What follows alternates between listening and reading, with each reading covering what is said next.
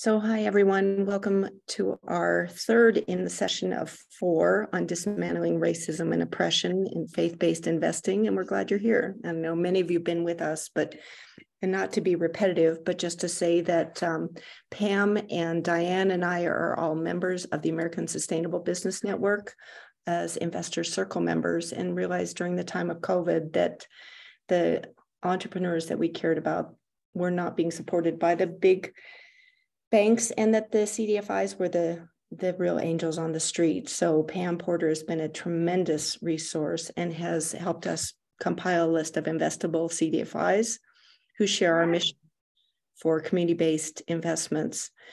And just so you know, we are starting with CDFIs, but there is so much more depth, as Derek will tell you about the churches that are going to be sold in the next five years and the community based funds that we can get involved in and really impacting the places that we live and care about. So know that this is just the beginning. And um, we're glad you're joining us on this journey. We hope you'll join us on the 14th of November. We have a session I'll pop in the chat from one to two where people can just ask questions. It's an informal session uh, for people to share their successes, their frustrations, their excitement, and um, see where we want to take this in 2023. So I want to thank you all for joining us. Really glad to have Emily joining us, who is um, from Colorado, thanks to one of our members, Tom Aboud and Eric, who's going to be moderating this panel and is deeply entrenched in this faith work. And I just want to thank you for being here and hope you'll join us on the 14th and help us shape this work going forward. So thank you. Thank you, Babby. And um, I just want to thank uh, Babby for organizing this series. She's put a lot of effort into making sure that the information gets out and organizing the panelists uh, that we have for you tonight. And so just wanted to give a big thank you um, to Babby and the panelists that um, will be sharing um, their stories with you tonight. And so just wanted to welcome everybody. Um, my name is Derek Peebles. I am the Director of Policy and Advocacy for Inclusive Economy at ASBN. And like Babby said, this has been a series of conversations that have been focused on um, investing in ways of beloved community, um, in ways that dismantle racism. And we started this project, you know, and recognizing that as individuals and institutions pursue more traditional investment opportunities, investors typically find that an organization's values don't always align or are in direct opposition to their value systems. And so, thankfully, an alternative form of investing does exist that accounts for the social, ethical, and environmental concerns of investors. And that's why we call this faith based uh, community investing. And, and so, just to speak a little bit on beloved community, um, faith based community investing uh, can most effectively be achieved uh, through the framework of Dr. Martin Luther King Jr. Um, coined in his last book, Where Do We Go From Here? Um, Chaos or Community, King called on people of diverse backgrounds and identities to come together uh, in an interdependent relationship of love and mutual respect that seeks to realize justice within the community and in the broader world. And so incorporating beloved community into the faith-based investment structure can have a really powerful impact on our communities, not only financially, but socially and environmentally as well. Um, so our aim is to, to raise awareness, um, you know, for the opportunities to invest in CDFIs and just to give you just kind of a little bit of information on some of the things that are coming down the pipeline, which is why we think this is important, is that in the next five years, we will need to deal with um, about 60,000 church buildings that will become vacant again over the next five years. And so moving these properties to the tax base could provide funds for more equitable development. And that's one of the reasons why this is important but also um, congregations will be receiving massive inflows of capital from churches closing and selling their property um, that they can align with mission. And so these are the kind of a couple of things that are kind of top of mind for me uh, and why this is important. Um, we're starting uh, this series by focusing on CDFIs, but we're going to be meeting on November 14th, and we're going to be gathering just to, for people who have participated to talk about other ways of faith-based uh, community investing. And we hope you all are able to join that as well. And then I'll speak a little bit briefly on that at the end. Um, so before we invite our panelists, I wanted to take a second and just explain. I actually put in the chat when we got started. Um, for the participants that we have, I would like if you all could go ahead and just kind of introduce yourself in the chat by just listing your name and um, also just kind of listing whether or not you're engaging uh, in this session as an individual or as part of a congregation or as part of a denomination, or it could be all three. And so um, you could do that in the chat by just listing your name and then list the I next to your name if you're engaging as an individual. You could list a C next to your name if you're engaging as part of a congregation or and or list D next to your name if you're part of a denomination as well. Um, so uh, just a little disclaimer on that. And before our panelists get started, I would like to turn it over to another person that's been very critical in setting up these series, and that's Pam Porter. Pam? Um, thank you so much, Derek. Um, it's just been such a privilege and pleasure to work with with you and um, our other and Babby and the other panelists um, on this.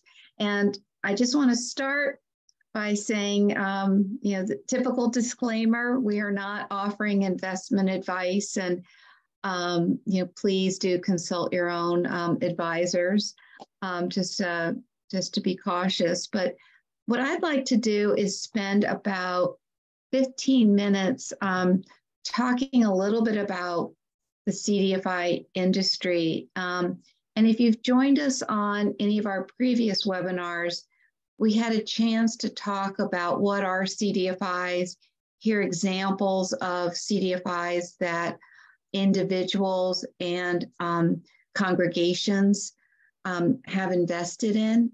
Um, our first series was hearing from four different faith leaders from different faith traditions talking about how their um, congregation or denomination has um, started their um, their uh, investment program and how they've worked with CDFIs. Our second session, we heard from three individuals um, who are connected with different faith organizations, but as individuals, they have started putting their own personal savings to work um, aligned with their values and the goal of um, dismantling racism and inequality. Um, and so today, um, we don't want to repeat um, what we've covered. We want to go a little bit deeper, but we know that we want to have a common vocabulary. So we are going to do a little bit of a CDFI overview and then talk about the specific um, investment opportunities um, that exist um, to invest in CDFIs and um, some resources for, for doing um, due diligence. there's a lot more we can talk about, but we want to, you know, we want to just continue down, down this path. So, and then you're going to hear from Emily and Diane, who are going to tell um, their own stories about how, as members of their congregations, um, they have started their um, their um, investment journeys. And then we're going to open it up for your questions, and Derek's going to moderate. And um, so here we go. Um, so I, I want to start with this graphic Many of you may have seen this. Um, an earlier version of it was very widely distributed as part of the Heron Foundation. But this is um, basically a framework for looking at the wide variety of investment types or asset classes that fall in the overall impact investing um, sphere. And it ranges from on the right side, market rate investments to the uh, to the left side, which are below market rate investments. And, and we're going to talk about some of these.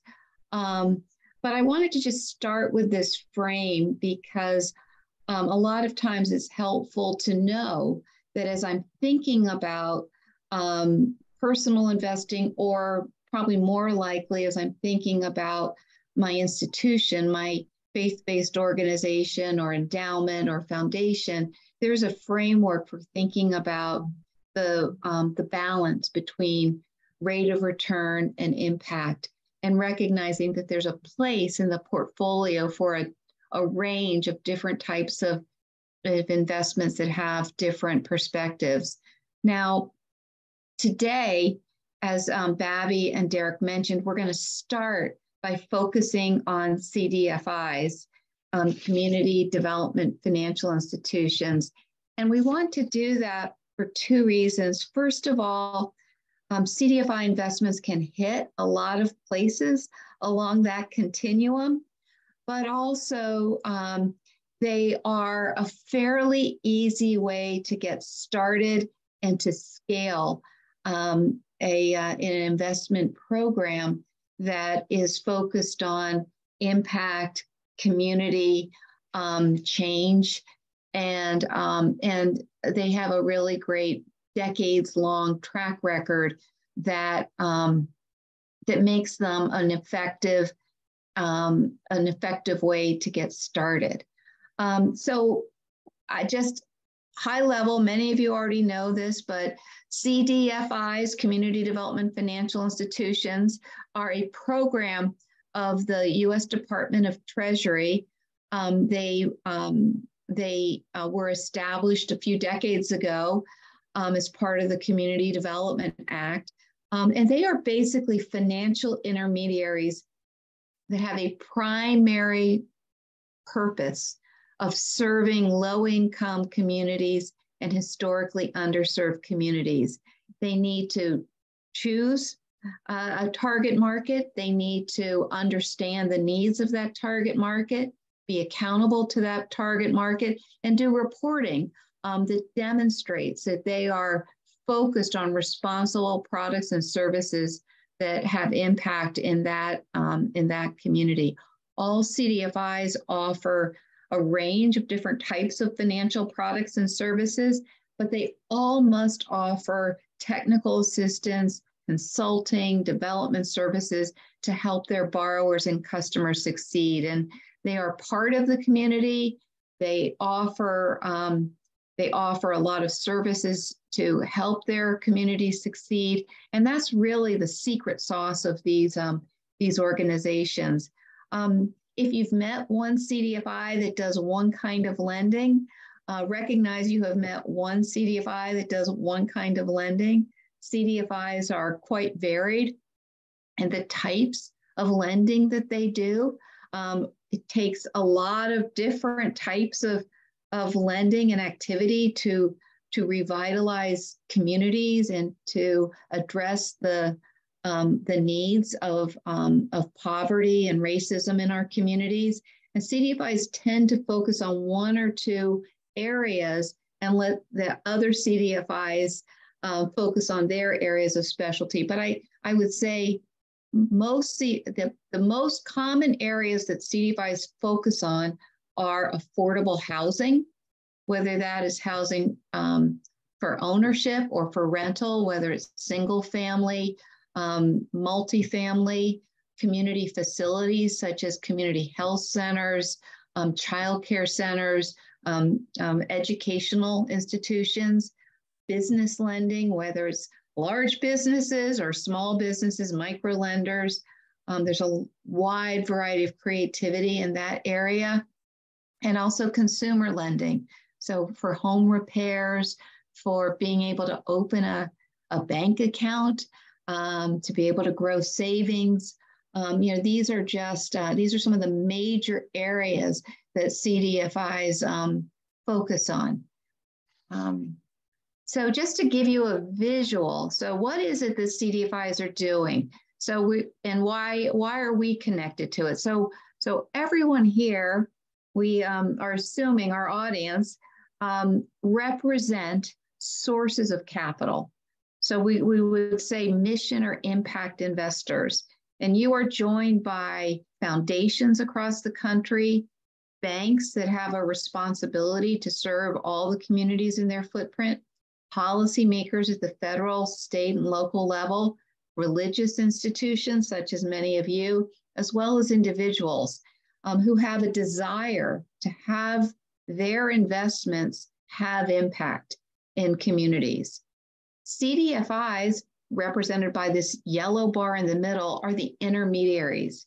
They take the sources of capital and then they um, make loans or offer financial services in their communities to the borrowers and customers in those communities, provide those extra services um, that help build stronger communities um, that reach brown and black communities at a much higher, more successful rate than traditional financial institutions. And guess what? Those borrowers and customers succeed. They are able to repay their loans. They are able to um, uh, develop savings accounts and start to build um, build wealth. They're able to buy homes, um, fix up their homes, and repay those loans. And that circle you see in the middle represents the money comes back to the CDFI. They relend it into the community until it's time to repay it um, to the investors. And um, there have been many studies. Most recently, Janet Yellen, Secretary of the Treasury, has often said at meetings where she has praised the work of CDFIs, um, especially during this pandemic time, by saying that a dollar invested in a CDFI generates between eight to fourteen dollars of private investment in that community. So if you're talking about return on investment, I mean, this is a very compelling case, and it's part of why we really want to highlight CDFIs as a great place to get started on your on your journey. Um, couple key facts. Um, there are over 1,300 certified CDFIs in all 50 states. They are quite varied. There are some that are well under 10 million in total assets, and there are others that are over a billion. Uh, but they all have that responsibility to serve um, low income and historically underserved populations. Um, in aggregate, CDFIs have over 220 billion, that's a B, billion in total assets. I remember the first time I heard this number, I thought, how could there be an industry this size I've never heard of? Well, the truth is that while it's a big number, it is still a niche industry within the overall financial services industry. I referenced this before. The repayment rate on loans that are made by CDFIs into underserved and low income communities is on average over 98%. This is amazing. Um, these, this is a real testament to the connection CDFIs have with their communities and how they work with their customers and borrowers to succeed.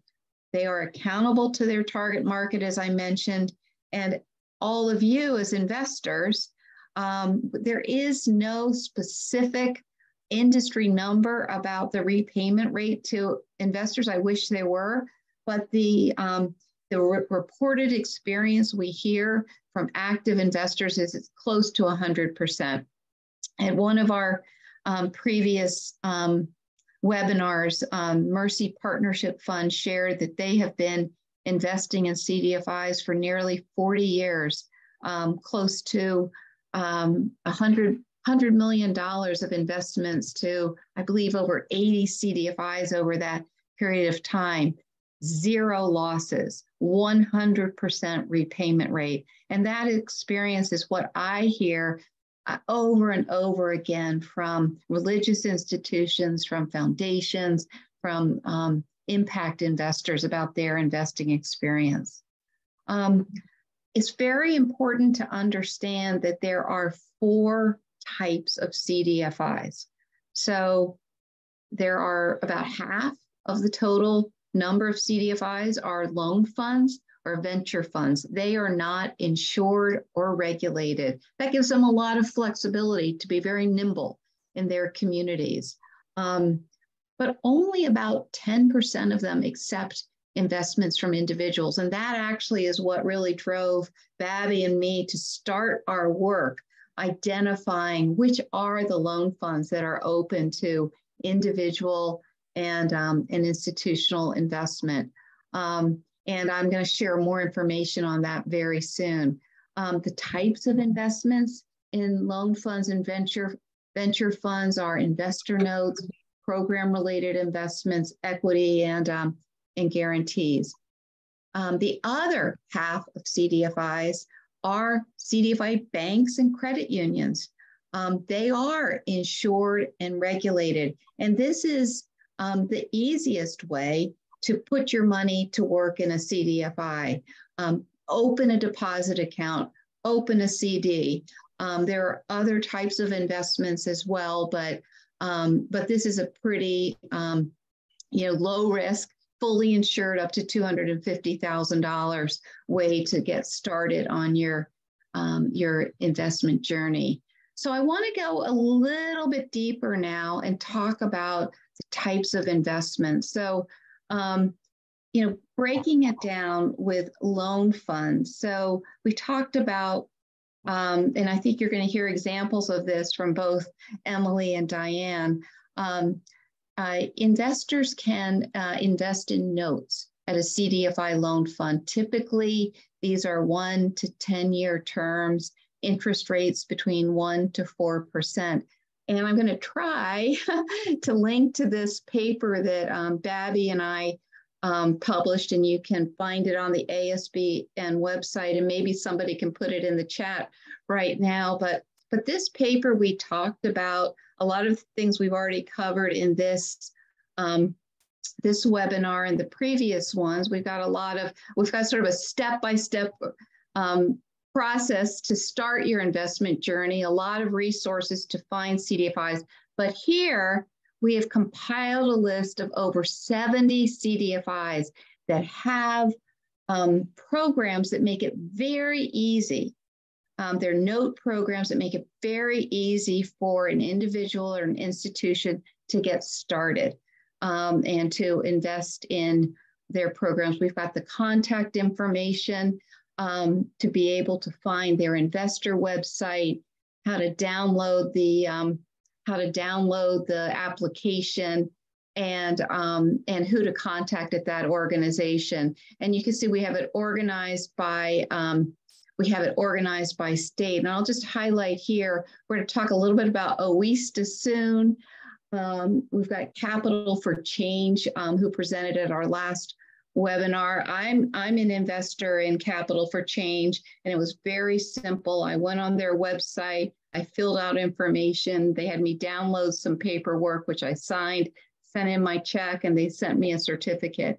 And um, and I, you know, it's not always that easy, but I think um, I, you know, sometimes um, it, you know, it may not be set up quite that easily, but I've got to tell you that's been my experience with the CDFIs that that I've um, I've invested in. So um, I'm going to get out of this now and go back to the PowerPoint. Um, so are you all seeing, uh, I'm back to the PowerPoint now? Okay, great. Um, so um, there's also a couple of aggregators I wanted to highlight. Um, CNote, you'll hear a little bit more about from Emily. Um, this is, I've got their website here that you can click to. And InspereX is another site that um, very, very large CDFIs um, have um, applied for a CUSIP number, and these are investments that are available through brokers. Um, so I just wanted to make that visible to everyone. If you are a foundation, an endowment, or another institutional investor, I also want to highlight that um, program related investments are another way to, um, to make an investment in a CDFI for impact. Um, they do count towards your 5% spending rule. Um, I've listed out here the IRS definition. I could tell you a lot more about this if you want to start down this path, but but again, um, this is another way. Um, there's some, um, you know, it does require a little bit more due diligence, some loan agreement documentation to establish your fiduciary responsibility. But um, but I do want to just make that visible. And believe it or not, there are a couple I believe it's only two, a couple of publicly traded CDFI loan funds, and I've listed their names here. And that's another way to, um, to invest in a CDFI loan fund. And then I want to break out the, um, the, uh, the investments in um, CDFI banks and credit unions. And I think we have a CDFI bank representative um, who's on the who's on the call today. Um, uh, let, let us know who, oh, there we go, Brent Trutman with the Native American Bank. And I know um, Emily might reference some investments that, that have been done um, in, in, in that um, wonderful CDFI bank. But CDFI um, banks and credit unions, again, you can make a deposit, um, you can buy a CD. Um, they are fully insured up to $250,000. So, you know, this is just a great way to put your cash to work, um, you know, at, at a bank that is really serving um, serving communities that align with the goal of dismantling racism and inequality. Um, and then just lastly, I'll highlight there are very few, um, but there are some CDFI venture funds that have funds that are open to individuals. And I listed two here. Um, CEI Venture in Maine has been doing venture um, investing um, for impact for decades now. And they've got really wonderful, wonderful organizations that, um, and businesses that they've invested in and you know, generated a lot of jobs in, uh, in communities that um, have really benefited and then Launch New York is a fairly new CDFI venture fund that is doing a lot of very exciting work centered in Buffalo, um, New York. Most of these do require that um, the individual or institution is an accredited investor. So um, um just to, um, you know, take things one step further, um, you know, due diligence, um, you know, starts to become an important topic the further down you go. And I just want to let everybody know that there is a model for evaluating financial sustainability. Um, oftentimes, um, new investors, they may be very sophisticated asset managers who have been asked to look at a CDFI or the credit department of a bank. Um, and they look at a CDFI and they say, whoa, what am I doing here? What's the model for evaluating the financial strength and sustainability? And I'm here to tell you there is a very straightforward model. It's called CAMEL, which stands for these five attributes. Um, there are very standard ways of evaluating ratios. I'd be happy to talk to anyone who wants to know more about this, but um, I've done a lot of training with um, with asset managers and credit credit folks, and um, they're very skeptical about investing in CDFIs when we start because they're looking at them as a commercial real estate deal or they're looking at them as a nonprofit, and neither of those is the right model for understanding the um, um, the, the financial strength or and sustainability of a CDFI. Once you explain CAMEL to them, they go, ah, I get it. Basically, this is the same model that regulators use to evaluate community banks and large banks. It's a very well proven model that's been used for CDFIs for decades now. Um, there's another quick way to start your process, and that is to look at the CDFI fund. Remember, Department of the US Treasury, look at their website, and they have a, um, a searchable database where you can find out the organizations that have received financial assistance awards. These are highly competitive annual awards. And in order to qualify for them, they need to have a certain degree of financial compliance with what are called minimum prudent standards, which reflect this CAMEL model. And I'll just show you, um, I'll just show you what that looks like. Does everybody, Derek, maybe you could just nod for me if people are, are you seeing the searchable database site? I'm not actually. I'm no, still okay. seeing the PowerPoint. Okay, maybe I, okay, let me try that again. Okay. Um, so probably the previous things I shared also didn't come through, but so this is um, the CDFI fund website. Is that showing now, Derek? Okay. And you just go down here and, um, and I know it's a little confusing to see all these different programs, but I would start with the CDFI FA um, program because that's the most competitive that also looks at financial sustainability. And you can see down here, it lists out a couple hundred CDFIs, hundreds of CDFIs. And then if you wanted to limit it by state um, or even city, you could do a further filter. So, um, you know, I think this is just a great way to start um, start your financial due diligence by looking at um, the CDFI fund website because they have already um, done a lot of um, a lot of the of the analysis. So I'm back to the PowerPoint now, I hope.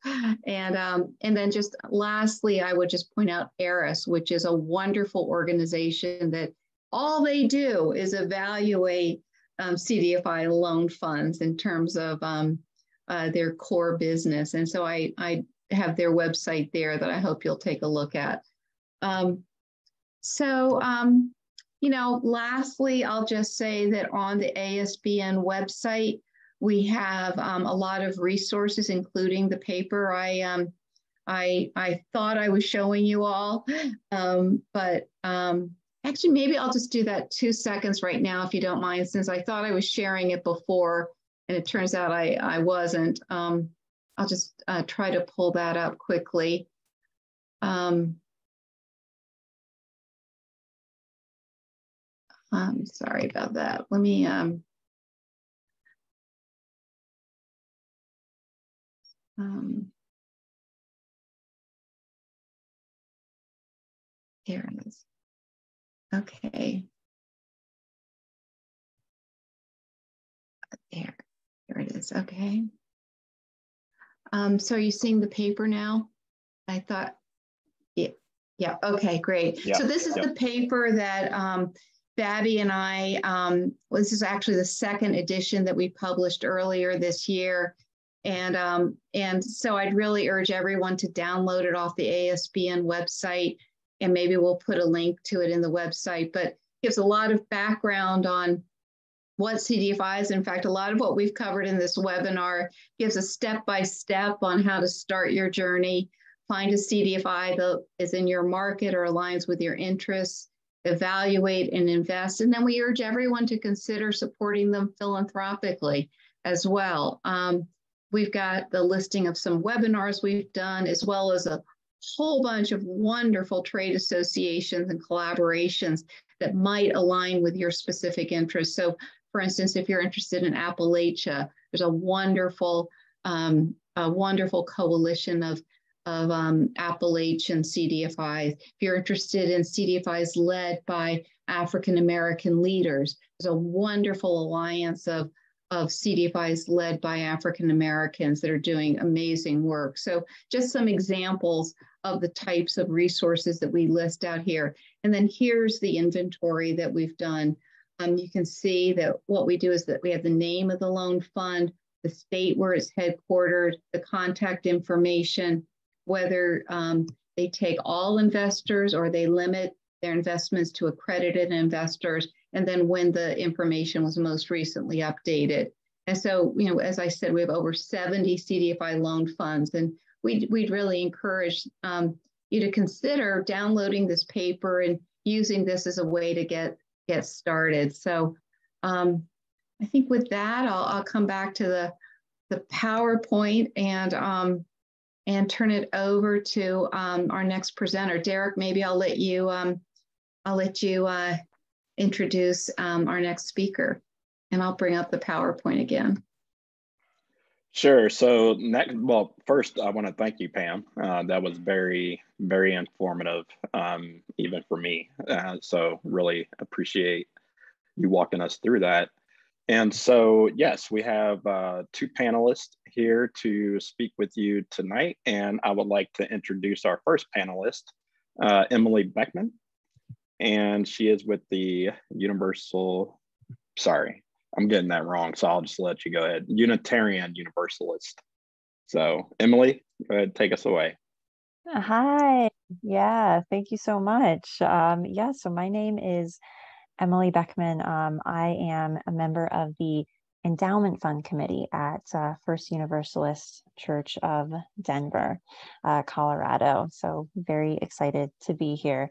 Um, so just a bit of my my own story. Um, I am uh, I I do not necessarily have the same level of um, experience, history, and and background as uh, you know some of the amazing people that you have heard from and will be hearing from. So I am kind of coming at this from the oh my goodness, you know I am really excited about this realm of community investing what it what it is and what it can do and how how it can help um, uh, in in alignment with um, your ultimate uh, your ultimate goals. Um, so you know, just from from my perspective, as as I had already started to think about, you know, okay, so there are certain stores that I don't want to go to, that I don't want to, you know, shop at because I don't want to give them my money. Gosh darn it! And it's to me, this is the next um, in in some ways logical step of well okay so how are you going to be um, how are we going to be investing money as as individuals and of course um, as as an endowment fund um, at first universalist?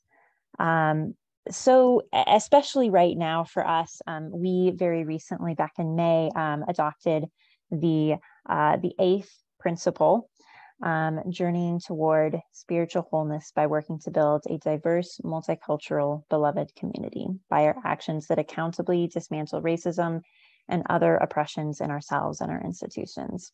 So, especially um, uh, as we as we have adopted um, very officially this this principle, um, community investing becomes more and more important um, for who we are, who we want to be, and who we are working towards. Um, and is already in line with, of course, the, the remainder, the first seven principles. Um, so one, one of our biggest responsibilities um, as, as part of the, the endowment committee is um, kind of first uh, uh, aligning ourselves with um, our investing, our money, our dollars, with our, our mission, um, principles, and, and faith and then communicating that as well um, to to both our our, our members, um, communicating and hand in hand with with the board um, to help understand that community investing is really in in line with who we are, with who we are striving to be, um, breaking down some of the misconceptions that it isn't this isn't um, charity, this isn't. Uh, uh, ESG investing, and it's it definitely isn't a you know a wildly rash decision that will cause the endowment fund to vanish overnight. Um, so ultimately, our our goal is to have this and uh, the dollars that we are investing aligned with our mission and vision, um, with with our faith. Um, so moving on to the next slide. So our um, our operating principle is uh, so in, in bold here and to be a, a, spiritual home for building the beloved community um, inside and outside um, our walls. So as, as Tom referenced um, a little bit, if you uh, have, have joined us for some of the earlier presentations, um, and as Derek was also speaking about a bit earlier, um, uh, beloved community is, is what we are what we're trying to build here um, through uh, through community through community investing. Um, next next slide, please. Okay, so what what this looks like for us in practice, and I I apologize um, for the um, I, I, packed a little bit in here, um, but we we first one of the earliest steps for us um, was reviewing our investment guidelines and making um, making an update there. So our original guidelines um, were uh, kind of focused on um, so picking out some of the this is not a comprehensive list but um, you know in order of priority investment goals shall be to protect the principal invest uh, consistent with the purpose and then to generate income and capital gains that can be applied to appropriate church activities um, restricting endowment investments to common financial instruments such as stocks bonds mutual funds treasury bills commercial paper um, and avoiding non-liquid investments uh, and so it was really saying okay how how can we um, because these should be our guidelines our directing principles how can we revise these to um, line up with what we're really trying to do here? So our our current guidelines um, the purpose of the fund is to further the mission and vision of First Universalist, both in how the funds are invested and spent. Um, some of our criteria when we are looking at funds to invest in would be um, right relationship within the interdependent web of all existence of which we are a part, pulling directly um, from our Unitarian Universalist uh, principles. Um, the advancement of social, cultural, and environmental capital, in addition to financial capital. Um, so, recognizing that um, the ROI can be uh, measured in in many different uh, uh, ways. It's not always point point A to point B. Um, and of course, we do still have um, listed on our uh, on our guidelines, excuse me, um, included in our guidelines, as it is still incredibly important, um, the anticipated financial returns and risk to the principle of funds. Um, so we're, we're, we're bringing the two together. It is, it is not a mutually um, exclusive endeavor. Um, so we're we're moving away from kind of the traditional way of of, of viewing you know the, the, endowment that money as as somehow uh, separate from um, our mission and principles something that stands alone to really integrating our our mission our values and our principles into everything that we do we are paying attention to the the complete ROI, that you know eight to, to fourteen dollar return that that Pam mentioned. Um, and next slide, please. So our our current investments um, right now, um, we we are invested in the Oweesta uh, Corporation, which is a native uh, CDFI intermediary. Um, so they have a minimum investment threshold of 25,000, which can make it a, a little bit more difficult um, for individual investors, but can potentially be a really great option for um, endowment funds. And we did decide to move forward here with a $25,000 um, investment uh, in the form of a promissory note um, over five years at a 1% annual uh, interest rate. Um, so the the process here of um, kind of doing doing our, our, our due diligence um, before investing in um, Oweesta. Um, so in part involved, um, of course, uh, an in-depth review of the Oweesta papers, annual reports, a, a, due diligence group pulling together members, in, interested investors who were part of uh, First, First Universalist members um, and members of other churches and individuals who were interested um, to pull together some questions and then meet directly with um, the investor relations and kind of CFO um, representative directly from um, Oweesta and digging into questions um, such as like like looking at their Oasis investments, their their losses, um, the the impact, of course, what any what if any losses investors had um, experienced, what some of their biggest challenges were, um, what their long term strategic plans um, were. So asking those questions. Um, we are also currently in the process of taking advantage of the um, Unitarian Universalist, uh, the Common Endowment um, Fund matching uh, contribution. So the UUCEF will match um, up to $10,000 um, contributed uh, or, or um, uh, in community investing, um, which is awesome. So definitely something to uh, to keep in mind for for UUs out there. Um, excited to be able to to take advantage of that. Um, we are also, and this is um, on the agenda um, as we're kind of kind of fleshing out our Green First Committee is doing some additional investigation here, but um, we'll be investing in solar panels at our, our at our church. Um, it'll be kind of agreed upon up to $25,000 um, over 15 years at a 1.5% annual um, interest rate. And then, so this isn't um, this isn't part of our uh, uh, of our endowment fund, but um, I did I did want to uh, put it on here that we have also moved um, uh, 50,000 in our reserve funds, in the First U reserve funds to um, CNote, as, as Pam did, did mention before. So CNote is a, a B Corp um, investing in CDFIs. Uh, so they are, you know, uh, the, um, not a CDFI directly themselves, but in some ways making it easier for investors, kind of tapping that easy button and having access that you might not otherwise uh, to CDFIs. Um, so we are invested in the uh, the flagship fund, which does not have a minimum uh, investment requirement. So can also be a really great option for um, individuals as well. Um, it has up to a 2% um, return and uh, does provide quarterly liquidity, um, which is great as well. Um, next, uh, next slide, please. Thank you.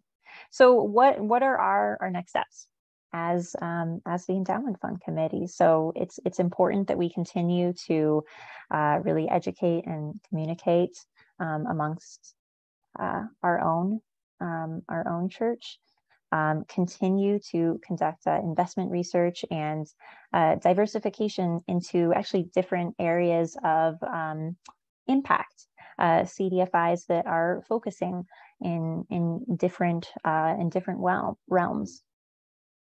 We're going to be utilizing some of the amazing resources from this series as well, of course, um, and then uh, making investment recommendations to, to the board um, of our church as we implement them and carry on. So really our, our main goal here and our ultimate objective is just to be aligning our, our investments, our money um, with our mission, our values, our principles, um, kind of who we are, who we want to be in the world that we want to live in. Thank you. Thank you, Emily. That was uh, very, very informative and really appreciate you taking the time to share with us. Um, just a reminder that uh, after our next panelist, we're going to open up for questions for the participants, for any of the panelists, uh, and Pam as well. And so with that, I would like to introduce Diane Keefe. Diane, take it away. Thanks, everybody. Um, I really appreciate Emily's talk um, because it reminds me that we might be able to influence our internal large manager, which is called Friends Fiduciary Corporation and is headquartered in Philadelphia, to actually do that kind of a matching program with uh, Quaker congregations um, in different parts of the country. Uh, so this kind of cross fertilization is really helpful. So New York Quarterly Meeting um, is an old-fashioned term for the New York City metro area Quaker communities, uh, and their assets are pooled, and I'm on the investment committee of that pool. And uh, you're seeing a picture of the Manhattan um, meeting complex where Friends Seminary is headquartered. And um, this building was originally, it, this is this is the second building that was established, but the first building that was established for Friends Seminary was so Black kids and white kids could uh, learn together before there was a public school system in New York City. So back in the day, the Quakers were really, really revolutionary. Um, but um, these days, uh, these endowments um, are primarily there to make sure that these old buildings, which are historical, uh, don't have holes in their roofs and the city of New York calling us up and saying, you're not maintaining your buildings. Uh, but in the meantime, uh, Quakers have a, um, a bunch of um, values that they attach to their investments going back uh, actually centuries. Um, and it, it, goes by our testimonies, which are um, characterized by the acronym SPICES, and it stands for simplicity, peace, integrity, community, equality, and stewardship. So stewardship, of course, has applications to the investment business, but equality is what we're talking about here because most of the list of securities in the old uh, investment policy statement that Emily brought up, and in frankly, most investment policy statements in the world, uh, it confines investors to very large companies uh, that either have publicly traded stocks or publicly traded bonds, and which often completely reinforce white privilege. And so uh, community development investing is addressing equity. So we can go to the next slide. So I, I just wanted to give you a high level picture of our portfolio uh, because it shows the dynamics of an investment committee. Um, investment committees are political institutions. And so you have varying degrees of commitment uh, and varying different ways of thinking about risk.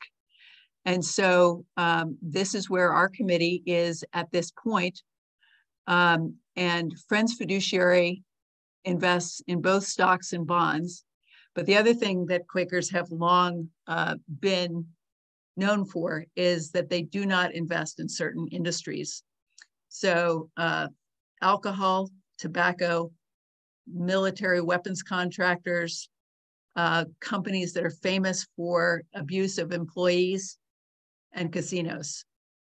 Uh, they also look very askance at companies that are on the top 100 air polluters or water polluters or hazardous waste polluters. And so they've been doing that kind of exclusionary investing for decades. And there are many other um, denominations that also have similar social criteria, but the ESG movement, the environmental, social, and governance movement, was um, as a counterweight to that, saying that uh, rather than just investing in everything that can make money, uh, what you should really do is not exclude whole industries like the Quakers do, but instead rank every company in every industry based on how responsible a citizen it is. In other words, how it manages its employees, even if it's in the military industry. You know, does it have a female CEO or a black CEO? Well, then maybe we can put it with a high ranking in in that category, even if it's the product itself is is destructive. So um, we have balanced both those traditional ways of managing social criteria and the purism um, that we continue to have about certain industries. And this portfolio is an example of that. So uh, the majority of our funds, that's 16.3 million, is in Friends Fiduciary, and Friends Fiduciary has multiple different funds that only only Quakers are allowed to invest in.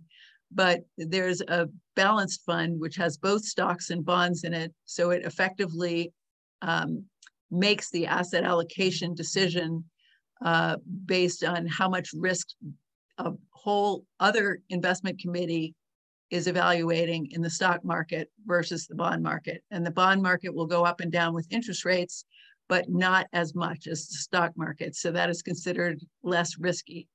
So that is called the Growth and Income Fund.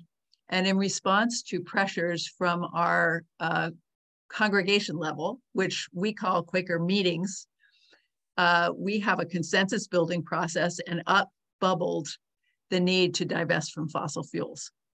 So that came about both in response to anti-racism and in response to climate change. That um, we were slow in our uh, consensus building process to characterize ourselves as a um, an anti-racist community uh, which in, in the New York area, I believe only happened in 2020 or 2021, though some members had been working on racial justice issues since well before the civil rights movement in the 60s. Um, so our consensus building process uh, has finally, you know, been enlightened by the George Floyd murder and other things to the point where we became uh, more committed to, to this work. At the same time, we were investing in community investments, and uh, that total vanguard there is um, mortgage backed securities. So, uh, publicly traded bond funds that are in mortgage backed securities that are described as Fannie Mae's, Freddie Mac's, or Ginnie Mae's are all invested in low and moderate income housing.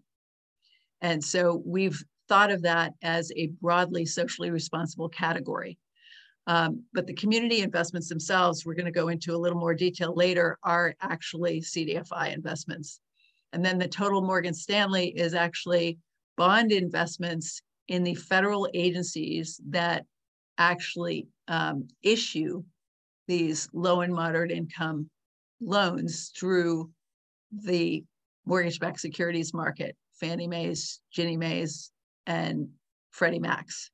So, um, and we can talk about that more in detail. An amalgamated bank is a labor bank. Uh, it is uh, its board it is developed with labor union labor friendly um, uh, members, and so we keep our cash in that. Okay, we can go to the next slide. Can we make that bigger?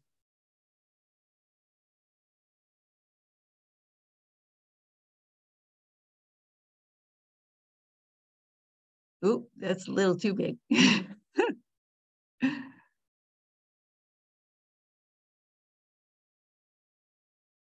okay, that's that's okay. So um, this uh, is our list of specific um, community development investments. Opportunity Finance Network is a network of community development financial institutions that also has its own fund uh, so similar to that CNote, except this is a, a nonprofit industry association. Um, Opportunity Finance Network is headquartered in Philadelphia and represents a lot of different CDFIs at different sizes and with different purposes, but they have their own fund, and that fund invests in the member organizations. Um, Partners for the Common Good is a syndicator of projects. When CDFIs are doing projects, they will often risk share when the projects are too big for one particular one to do. And so Partners for the Common Good, uh, which is headquartered in Washington, D.C., is um, in the business of sort of filling in the gap when um, when a project is too big for one or two CDFIs to complete.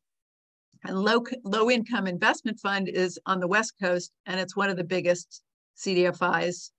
Uh, and um, when we were looking at these, uh, we benefited from, I used to be on the board of Opportunity Finance Network, so I was familiar with a lot of the um, different CDFIs that are leaders in the industry. And also just a little more background um, from what Pam was talking about. Uh, a lot of the genesis of the CDFI industry came from a, a reaction by the federal government to redlining by large commercial banks. And so, in those same communities that were excluded from getting loans from the big banks, they were required by the Community Reinvestment Act to invest in those communities. And a lot of them didn't know how to do it. And so this whole sort of cottage industry built up in various different geographies to serve those communities on a nonprofit basis and do it better than the big banks because there are different objectives involved. You know, big banks really just want to make a lot of money for the, themselves, and CDFIs really want to make a lot of money for those communities and keep it in those communities. So um, that's the context. Um, and Leviticus Fund is the, the only one that we invest in that is um, specialized in the New York metro area. And that is part of our mission is also to try to ground ourselves where we live. Uh, the New York Quarterly Meeting is just the meetings in Staten Island, Queens, uh, Brooklyn, the Bronx, and Manhattan. So uh, Leviticus Fund is operating there. And I, I would like to, uh, so the total of this is 2.4 million, but that Connecticut Green Bank, lastly, um, at the top, is um, an $800,000 investment in a $30 million bond issue that was done by the Connecticut Green Bank. And uh, these are public bonds, but they're a very small issue. 30 million is a very small issue for a bond issue. So they're very um, illiquid. But uh, we did it because we knew that the multiplier effect of this is really substantial. And um, it is um, literally funding the expansion of solar energy in the state of Connecticut.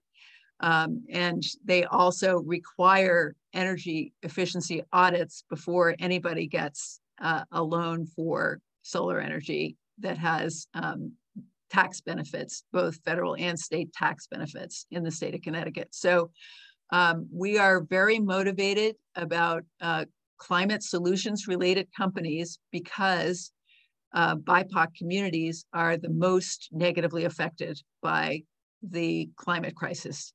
As it accelerates, uh, people who are vulnerable are going to get hit the worst. Um, as we've seen, you know, in Hurricane Sandy, certainly in, in our area and all over the world, um, people who are uh, vulnerable and don't have assets in many places as opposed to just where they live um, will not be able to adapt to it as well as people in the upper income echelon. And so, from a context point of view, in the United States, 60% of the population is living paycheck to paycheck. And I don't know what the percentage is, um, but it's a relatively high percentage of people who, if they had an unanticipated $500 expense, um, would really struggle with it.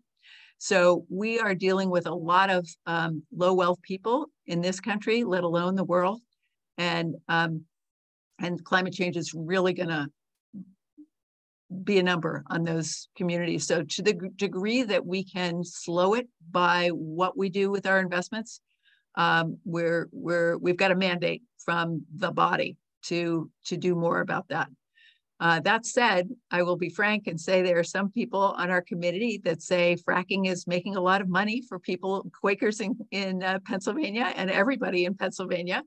Uh, and so we have the same debate that, that they have in the Democratic Party. It's not the same debate that we have in the Republican Party, but it's, it's the debate that we think climate change is real, but how quickly do we want to transfer out of natural gas, which is supposedly the transition fuel, um, is is up for debate even within the investment committee. So if we could just go back to that previous slide for a minute, I just want to highlight um, that yeah that one. The Friends Fiduciary um, actually created a um, a fund called the Green Impact Fund that is a, a pure stock fund that has three different managers that are focused on um, stocks that will respond to the climate crisis and make more money for their products and services if the climate crisis with, with solutions to the climate climate crisis or in response to creating better resiliency around it. So um, we did uh, agitate for the creation of that fund, and also it, we were one of the significant larger investors in that fund when it was created. So if you want more information on that, you can go to the Friends Fiduciary website and uh, get information about that. Uh, still, the lion's share of the assets is in the um, the Quaker Growth and Income Fund, which is a balanced fund and has some exposure to the green fund, but it's not the green fund itself. So, you know, there are compromises in everything you do. Uh, but my goal is that eventually we are similar to the Heron Foundation, which is 100% impact across the asset allocation from deployment of cash all the way to private equity, that we are cognizant and concerned with the social impact and the racial impact of every investment we make. Um, so I think, um, I, oh, one more point. Uh, can we go back to the community investment slide? If you look at the maturities and the interest rates on the right side in that column on the right, yeah.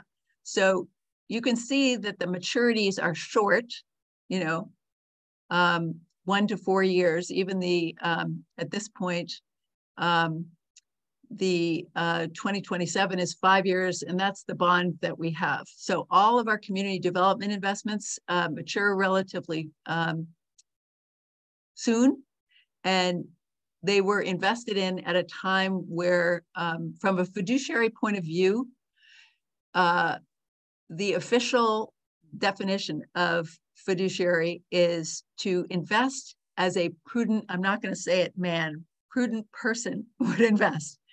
Um, and for many years, okay, I have been an advocate. I have a CFA, which is like a, a CPA for the investment business. And there were a bunch of us who said that we do need to take into consideration the social criteria because you actually avoid risks of doing something that will become illegal, even if it isn't illegal when you first start doing it, because society realizes how bad what you're doing is. In other words, for instance, tobacco. you know, tobacco was something that finally, after a long time, they realized, oh my God, this is cancer causing. Even the government realized it. And so it's basically trying to identify liabilities like that from the behavior of corporations. Well, another way of looking at um, fiduciary responsibility is what is your return for the risk you're taking?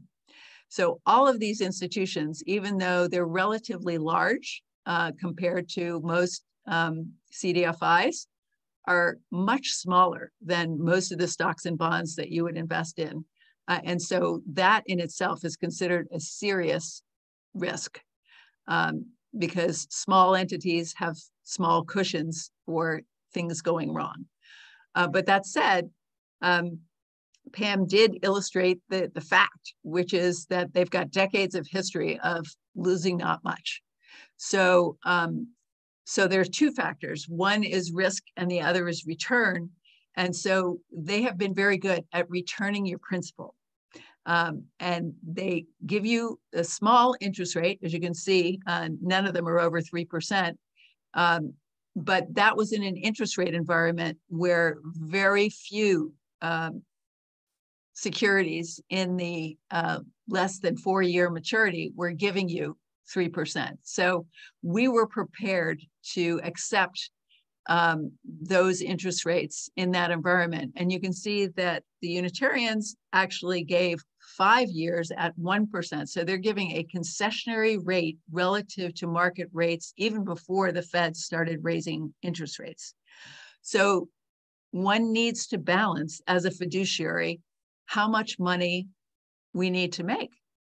And that begins to be an ethical question. And the Quakers actually um, you know, have been good stewards of our assets relative to what we need to maintain our buildings and um, and uh, do, you know, the projects that we need to do.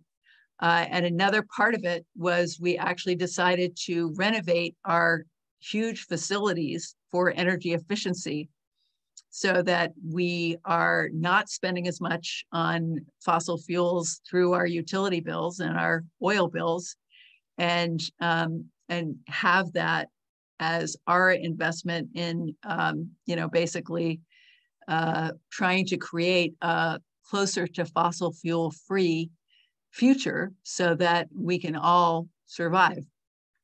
So um,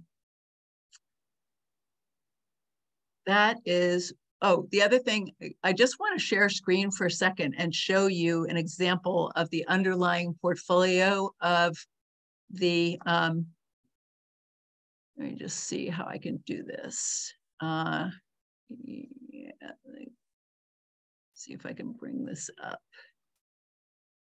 here. So this is an example of one of the projects. Uh, this is on West 96th Street, 97th Street, where, near where I used to live. Um, and it's a hotel conversion to create affordable housing. It's um, it's basically studies have indicated that it's much better for homeless people to have like a an SRO kind of environment, except they actually have their own cooking facilities and they have a simple place that's really theirs. Um, and it's structured affordably. And this one is through the Fortune Society, which has been um, working with reentry for a long time. Um, so 85 units, 67 will house homeless individuals who have histories of involvement with the criminal justice system. And they're managing this so that people can stabilize. Uh, and so this is part of what we do because we live in New York City. And this is not only a good investment that we will make a decent return on for, and we continue to roll it over at maturity. So it's not like we're only giving, it to them for two years, but every two years we get to reevaluate at what interest rate we're comfortable investing. Uh, and so this is, you know, one example of what they put our money into. And, um, and this is definitely, you know, a, a, great example of how CDFIs will actually um, deploy the capital in ways that will uh, reduce the risks actually in the lives of the people who live in New York City, as well as benefiting the homeless people uh, that get the units. So I'll end with that.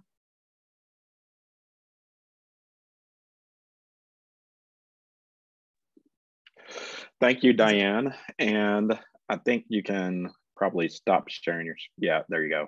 Okay. Thank you, really appreciate it. Um, we're at 8.45 now, and so still wanted to open up some time for questions, but um, real quick, Pam, if you're still with us, are there any takeaways that you would like to comment on before we open it up for questions? I think you're muted if you're if you're talking. Sorry. yeah, no, thank you. No, Diane and Emily, you just did a great job um, just sharing the journey and um, uh, you know, just just just get started. You may not feel like an expert, but you learn along the way. Thanks, Pam. All right. Well, so we have about uh, 10 minutes. And so we have a uh, let's see, yeah, about 12 about 12 of us that are still on. So would like to open it up for any questions or comments or anything that that struck you about what you heard. Um, the floor is open if anyone, since we have a small number, uh, feel free to to just unmute yourself and and start asking. And if, if people start talking at the same time, then I'll I'll jump in and have you all take turns.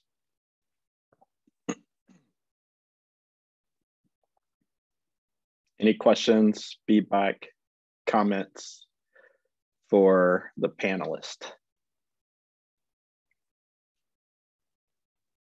I'll speak.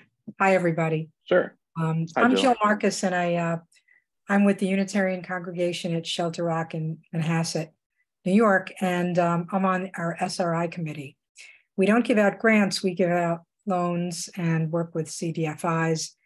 And I really appreciate, I've appreciated all of these. I've been to everyone in the series. And I really appreciate learning about um, the different kinds of opportunities that you all in your own congregations and worlds have invested in, because there's no reason to reinvent the wheel. And I now have a list of some amazing organizations that have been vetted by all of you and have proven themselves with you know interest rates and returns on investment um, so we have a lot of food for thought to go back to our congregation and try to you know, get some meetings with some of the uh, organizations.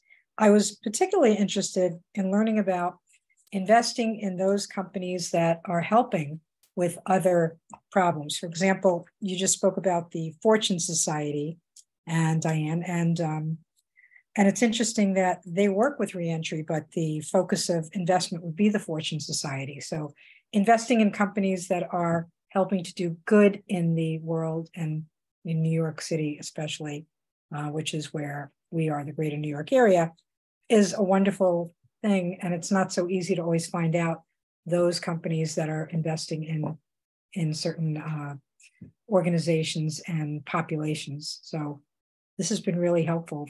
Thank you for everything. It's a treasure. Thank you for your comments, Jill. Excuse me. Uh, any other comments, questions?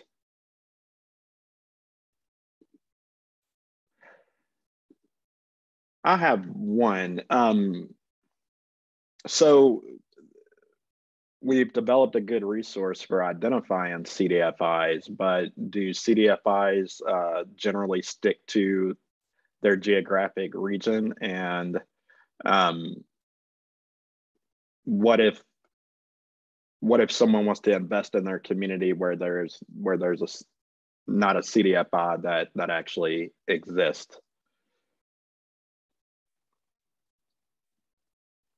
Any one of the panelists or Pam? Yeah, you know, this whole issue of um, of um, coverage is is one that um, often comes up. Um, you may be interested in small business and reaching um, BIPOC entrepreneurs, but it might be that there's not a small business CDFI in your community. And um, maybe there's a great housing lender, but you know those skill sets are very different. Um, so you know that that um, it is possible to start talking with um, small business lenders that are in nearby communities um, because if they if they see that there are um, partners that they can work with and there's an unmet need um, that is in that community. Um, they they like to work with community partners to understand what that unmet need is and um, uh, you know deploy some of their their funding perhaps raise new funding to be able to to move into the geography. So um, I, I actually recently um, uh, you know, I, have seen a lot of geographic expansion lately. I, I've seen, um, we've talked about climate change quite a bit today. There's a wonderful CDFI in Florida called Solar Energy Loan Fund, and they really focus on home improvements.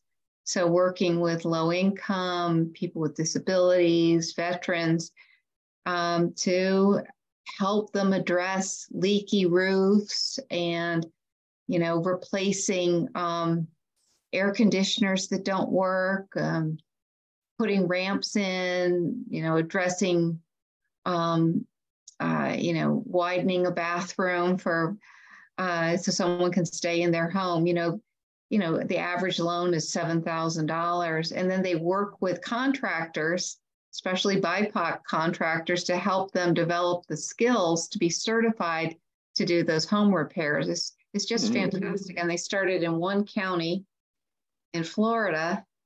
They're now in most of the state and they're now moving to Alabama and Georgia. And um, you know they they're a green bank also. You know they've they've um, you know they they started in a small geography. They proved their model, and now I think we're going to see them grow pretty um, pretty rapidly to other geographies. Um, but um, but you know they they tend to like to you know, they're moving into Georgia with support from a couple of partnerships and foundations giving them some support and, you know, their own strategic plan supports their geographic expansion. But, um, you know, like anything, it's a relationship with an organization. Hmm. Also, I just wanted to share that um, Self Help Credit Union has a um, product that helps people who are undocumented get oh. access to capital. And, yeah. um, you know, that's an area where there's so much discrimination against people. And, you know, that is the ultimate of exclusion that, you know, if you're an illegal, um, you don't get access to the banking system. So, um, and they have been a leading institution on a bunch of matters. Um, so I think that there are uh, different foci, and the other uh, institution that I would put a plug in for is um, Calvert Group will uh, somewhat bundle for you if you say, you know, I want to, I want to invest in BIPOC women on the West Coast, or you know, you, you can, you can um, decide what you want to prioritize, and they'll help you find it. But the other thing is um, just a, a plug for wherever you sit once you get going on this yourself and once you have more than a toe in the water, you can also uh, prod your own financial advisor to develop expertise in this or seek out expertise that they can partner with so that not only can they serve you better, but they can serve their client base better. Um, because more, especially young people, really don't want to do things the way they the way it used to be done, where you basically did your charity work and then you did your investments and you didn't, never the twain shall meet. And more and more, like they say that people under 35 just will not engage with many businesses that have bad records. And um, that wasn't necessarily the case for our generation. So um, I think that there are new instruments that are being developed. For instance, there's a company called Raise Green that is raising money for solar projects, and you can go in and you know read about the project and decide if you want to give them a loan for seven percent, and you can put in ten thousand or you can put in a hundred. Uh, and there's another company that that we've uh, that some of us as individuals have invested in called Honeycomb, which is going into communities and working with their restaurants and their, you know, their green uh, dry cleaners and their bakeries and helping them expand uh, with debt capital. And they help them raise it from their supply chains and from their customers. And what they find is through pulling the community together in support of a business, they actually have been able to raise the revenue of that business in the subsequent year by 60%. Uh, and the guy who founded it used to work at FICO, so he's really good at evaluating businesses um, for their ability to repay. So these are more uh, these are more risky investments, but I'm just saying I think that this is a very juicy area of uh, innovation, and and it hasn't yet gotten to the scale of the capital markets. You're not going to find it in stocks and bonds, but it is growing, these kinds of new institutions. And an older one is called Kiva, and it is a micro lending individual by individual, but that kind of Kiva idea is also blossoming in many different ways um, with entrepreneurs in the financial services industry above and beyond CDFIs. And, and so once you're in this realm, encouraging any financial advisor that works um, with you to get more well educated on the risks and and rewards of of this kind of activity um, given alignment with your mission uh, would would be prudent. Yeah and i would just add um, one due diligence question um, especially as you i mean some of the aggregators diane mentioned are just terrific. One question to always ask is um, and what is the price of capital you are charging the end mm. user so that um, you know i think emily's example of um, the 1% investment in Oweesta is so powerful because that means Oweesta's cost of capital for that that borrowed those borrowed funds is 1%, which means they can lend it out to their borrowers at a low rate.